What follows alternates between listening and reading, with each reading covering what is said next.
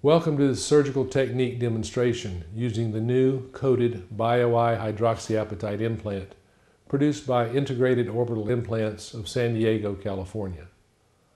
I'm Dr. Art Perry and I will be demonstrating my surgical techniques using this new coated BioEye implant.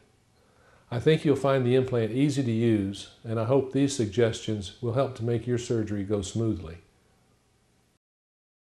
First, let me discuss the reasons this new coated implant was developed. It was developed for the patient with the surgeon and surgical techniques in mind. It's the most scientifically advanced and medically engineered orbital implant in the world. The core of the new coated implant is still coralline derived hydroxyapatite, the gold standard in orbital implant materials. As you may know, hydroxyapatite is the inorganic or mineral portion of human bone, and therefore the most natural, biocompatible, and most bioactive material you can have. Other materials like silicone, acrylic, polyethylene, and aluminum oxide are not naturally occurring in the body. The microarchitecture of the BioEye implant has the same complete 100% interconnected pores, like that of human cancellous bone. The microarchitecture of man made porous materials, like porous polyethylene or porous aluminum oxide, are not completely interconnected and have blind end passages and pores that don't connect with other pores. With the same BioEye hydroxyapatite implant as the core, the goal was to create an implant with a smooth, ultra thin, absorbable coating. This coating would make the implant completely smooth so it could be easily placed deep in the orbit. The coating would be such that the surgeon could attach the extraocular muscles to it and therefore no wrapping material would be needed. The essential feature of the new implant is the polymer coating. There are actually two distinctly different polymer coatings that cover the implant. These two polymers have different absorption rates that have been specifically engineered and tested for orbital implant surgery. The two polymers are color coded to indicate their location in the orbit. The amber or pinkish colored hemisphere should be placed anteriorly in the orbit. Remember the A in amber and the A in anterior. This would be the surface closest to the conjunctiva. This polymer was designed to be reabsorbed slowly over 15 to 18 months. The polymer that covers the posterior portion of the implant is colored purple or bluish gray. Remember the P in purple and the P in posterior. The posterior surface of the implant should be placed deepest in the orbit toward the orbital apex. This polymer allows rapid fibrovascular ingrowth because it will be reabsorbed over six to eight weeks. The implant is supplied in a sterile box with a special foil pouch. It should be stored at room temperature or cooler. Now let me discuss the techniques I use when inserting the coated BioEye implant in an enucleation, evisceration, or as a secondary implant. Once the standard enucleation has been done, with the muscles tagged with a double arm 5 vicryl suture, the socket is sized using sizing spheres. Select the largest sized implant that, when placed deep into the orbit, can be covered without tension. The rings on the sizing spheres help locate the approximate location of the muscle windows. Keep the largest sizing sphere in the socket while the implant is being prepared. This helps keep the socket from swelling and helps keep the space open for the implant. The appropriate sized implant is chosen, and the apex or the center of the amber, pinkish, or the anterior surface is marked with a sterile marking pin. The location of the windows is marked in relation to this apex.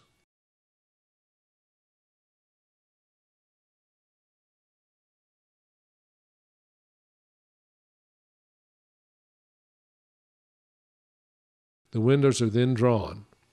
The size is generally 5 millimeters horizontally and 4 millimeters in the anterior posterior direction.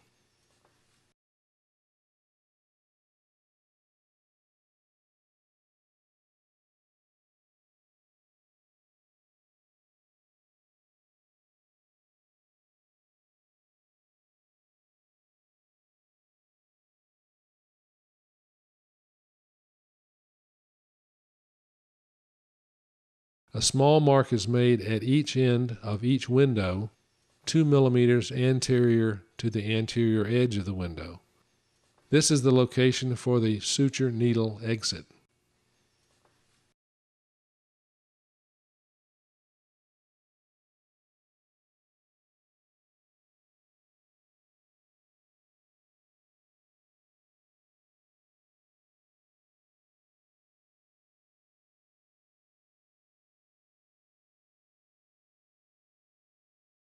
Hole locations are then marked in the posterior purple or bluish gray polymer near the apex. 8 to 30 holes are made in this area. These holes will be for the outflow of the antibiotic and local anesthetic mixture from inside the implant into the orbit.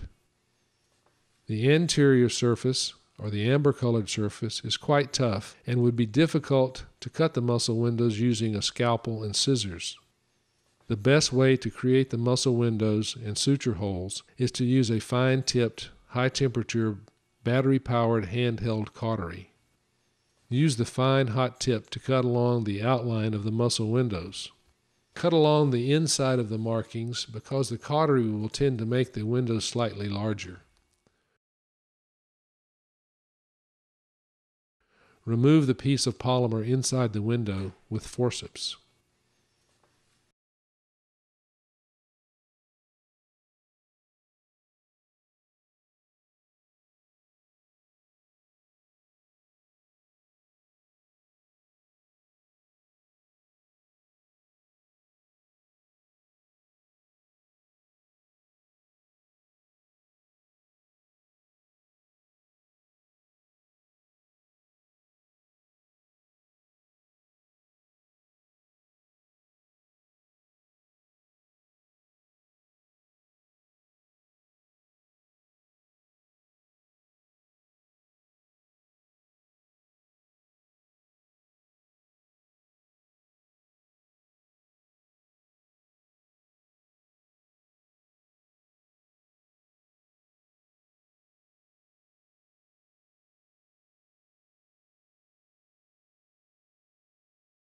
Once the windows have been created, an important technique used to make the passage of the suture needle easier is to create a tunnel or tract from the suture exit hole to the muscle window using a 21 or 25 gauge hypodermic needle.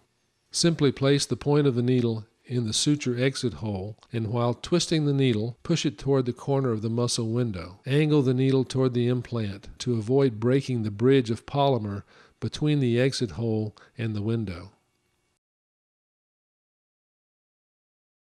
Use a trial needle like the one attached to the sutures that had been used to tag the muscles to verify the needle track. I use a S14 quarter circle spatula needle.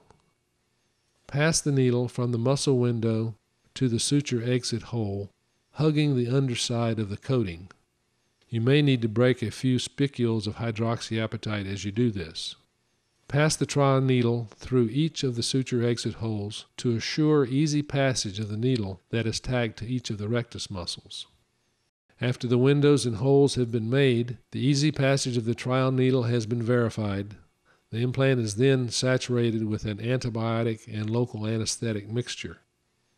I use 2 cc's of gentamicin, 80 milligrams per 2 cc's, and 10 to 15 cc's of 0.75% Marcaine, or enough Marcaine to cover the implant well. Place the implant in a large syringe, a 35 cc or 60 cc syringe, depending on the size of the implant you've chosen. Place your finger over the tip of the syringe and cover the implant with the antibiotic and local anesthetic solution. Place the plunger back into the syringe and hold the syringe in an upright position and push all the air out of the syringe.